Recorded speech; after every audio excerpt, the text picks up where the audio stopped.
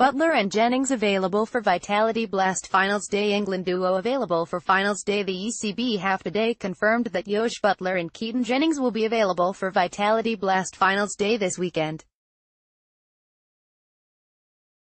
England all-rounder Moeen Ali will be available for Lancashire's semi-final opponents Worcestershire Rapids, whilst James Anderson is also available but will not be part of the Lancashire squad. Keaton Jennings is available to play for Lancashire in the side's final fixture at Hampshire from September 24 to 27. A decision has not been made on Anderson's availability for the final game of the season at the Ageas Bowl.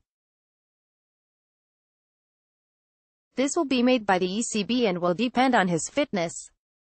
The England management have asked for the majority of the squad to take a break before winter trips to Sri Lanka and West Indies, with the squad for the one-day series in Sri Lanka to be named later this week, ahead of their departure on September 30th.